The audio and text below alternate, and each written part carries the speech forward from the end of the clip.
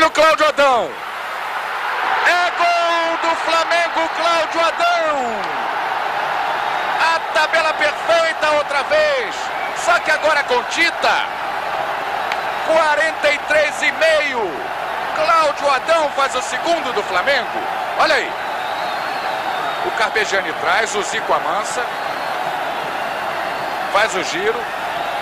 O toque de Carpegiani, melhor dizendo.